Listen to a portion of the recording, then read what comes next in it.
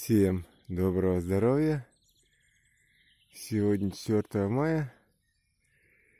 Я нахожусь в окрестностях деревни Мурзинка. В гостях.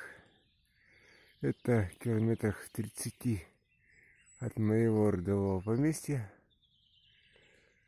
Та самая знаменитая самоцветная Мурзинка – но о ней я расскажу потом как-нибудь. В следующий раз тут много есть чего интересного. А сейчас я вам покажу, показываю здесь удивительные деревья. Здесь сохранился кусочек леса нетронутый. Вот смотрите, какие сосны. И какие елки.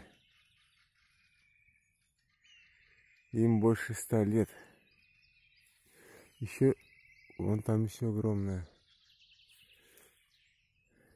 Здесь есть еще одна елка. Так вот, смотрите, какая ель. Которая, как утверждают местные жители, возрастом более 300 лет.